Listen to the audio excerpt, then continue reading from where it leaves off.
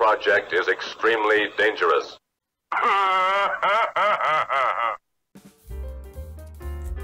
Hi, it's Skip from Skip's Messy Workbench, and I want to do an update on my progress on the Lost in Space B9 robot, the Moebius version of it.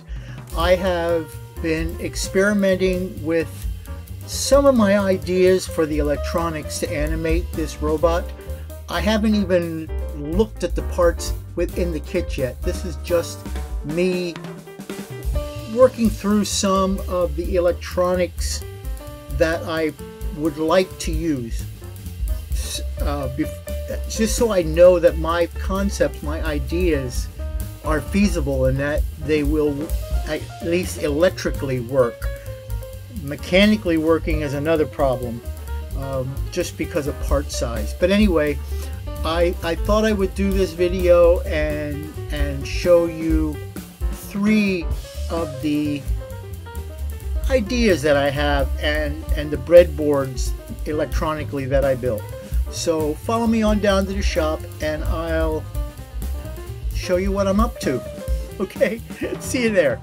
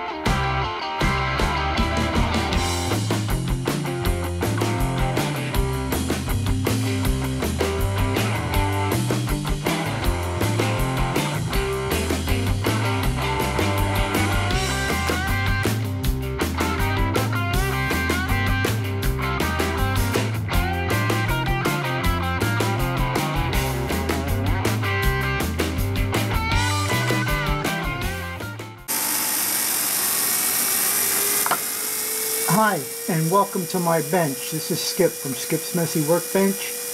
And what you are seeing on the screen is uh, one of several experiments I'm doing for some of the electronics that I want to put into or possibly incorporate into the Lost in Space B9 robot. So you're looking at a continuous rotation servo that's what's being held in the vise and spinning as I'm talking here. Servos normally only run from 0 degrees to 180 degrees in a play in a way that the position can be controlled. With a continuous rotation servo, you can't control the position but we can control the direction and the speed. So it's based on sending the motor a signal, a voltage or a count, let's say, and it is a count because it's a PWM type signal. PWM stands for pulse width modulation. And you send it a count of 0 to 180 when you get to count of 90, that means that the motor is totally stopped. So as you can see here, the motor stopped. The count is actually 90 right now. And if you'll see, the each one of these divisions on this scope is 0.5 milliseconds. So that was stopped right there, which is one and a half milliseconds. And that is the width of the pulse when the motor is stopped. As it increases count up to 180, this pulse goes to approximately two and a half milliseconds, which it did. Right now it's starting to decrease in speed again. Uh, so two and a half milliseconds is full speed in a counterclockwise direction it's going to get to the one and a half milliseconds. It'll stop. And now it's going to reverse direction and start going clockwise. And you can see the pulse getting narrower as the motor speed increases, as this pulse width gets narrower. And when this gets to approximately a half millisecond, it will have reached maximum speed and the motor will then, in this case, start to reverse direction. Now it's doing this action because that's how I have the code written to do this. So I'm thinking about, at this period, moment in time, using a, a uh, continuous rotation servo for the rotation of his chest and also possibly the rotation of the the brain, that, that little crown thing that's in his brain, um, because I can control the speed at which this thing goes.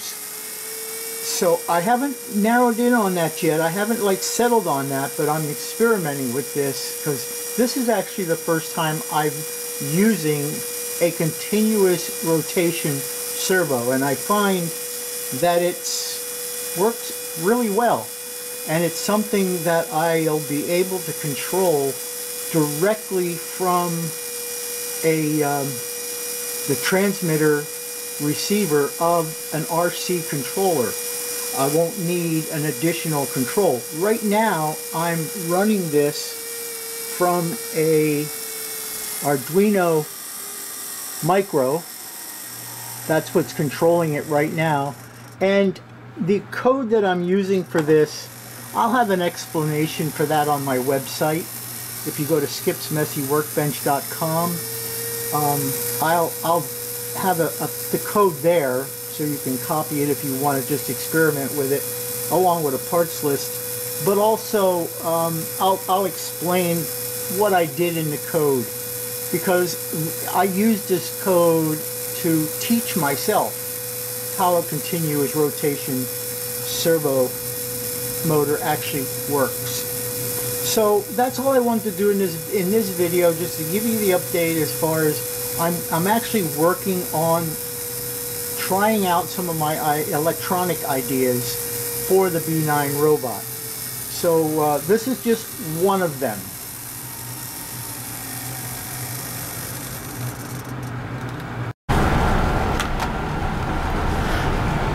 Another thing I'm experimenting with is the blinking of lights on it and I blinking lights is, is easy but I really wanted to do something that was totally random. Now I'm using a Arduino Mega.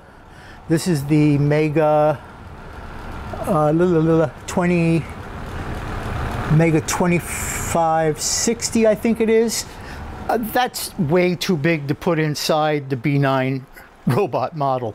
If I could fit that in the B9 and make the B9 self-contained, this would be the ideal board because it has you know a lot of input and outputs on it but you'll see here I have two rows of LEDs and it's not running right now but there's six LEDs in each row and blue LEDs by the way are going to be very bright. Um, it's it's a different type of LED but I just used what I had laying around. Um, so forgive that. And then these LEDs on the top here are for the square the little square lights that are on the robot chest. So let me get this plugged in so that it works. And then the first thing you're going to see is it go through a lamp test. And what I, I, I included the lamp test so that when it comes on, you'll see, it, hopefully, there, you'll see each one of the lamps come on individually right across because it's checking each one of the lamps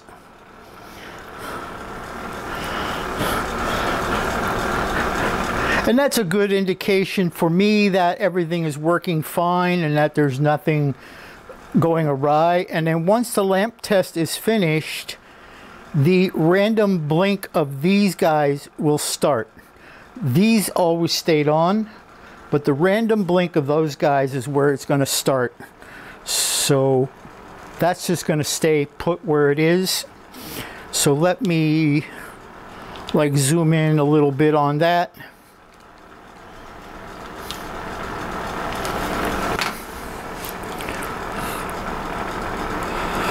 And you can see that those lights are blinking at a random rate and each one right now is a random blink.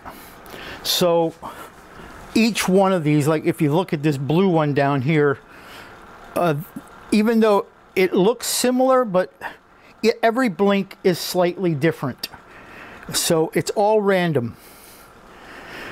So that's what I'm planning for the chest area for the lights. And again, I've got to come up with a way to do it with a much smaller board. Um, the, the micro doesn't have enough I.O. on it. So I may have to cheat a little bit and have a couple of lights tied in parallel and just mix them up so that it looks random.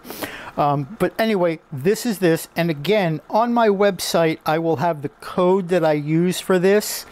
And I'll explain the code for that particular blinking, that random blinking and the, and the lamp test.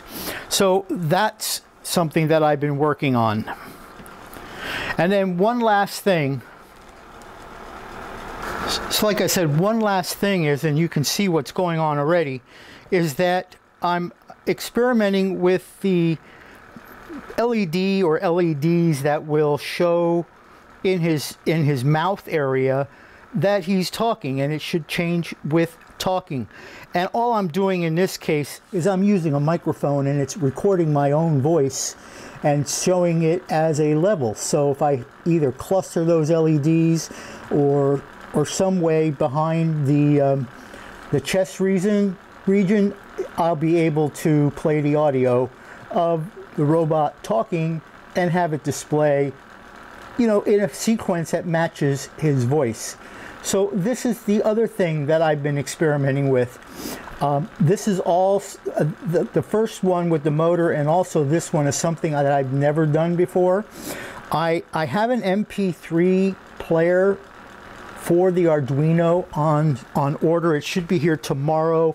And I also um, have, I want to figure out then how I can control different soundtracks from that uh, controller, that MP3 player, through the RC control. So, uh, you know, I'm, I'm working on it. I haven't even looked at the plastic parts of the robot yet because I'm testing out my electronic theories, my the, what I think may or may not work. Uh, again, all of this stuff will work. I'm going to have to get much smaller packages. Uh, even the LEDs that I'm using here, these are 5 millimeter LEDs. The chest lights have to be 3 millimeter. I have 3 millimeters. LEDs. I just I just got some. I mean, this stuff is really cheap, by the way. Um, if you're looking at it, these these some of these parts are less than five dollars, um, and so you know it's not like a big investment on it. But you do have to have a little bit of knowledge of electronics and the Arduino and some programming.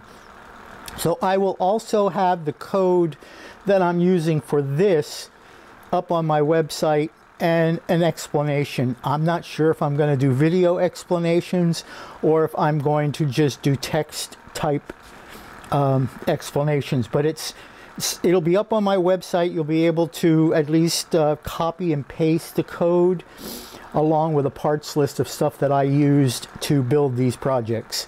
All right, so that's where I'm at right now. I I will be um, starting to look at the actual physical robot parts to see exactly, you know, space, the space I'm going to have in there. So uh, that's where I stand right now, and I will see you. Oh, give me, give me a. Let me tilt this up here a little bit. Give me that thumbs up. I'm zoomed way in. uh, give me that thumbs up and give it a like give it a subscribe.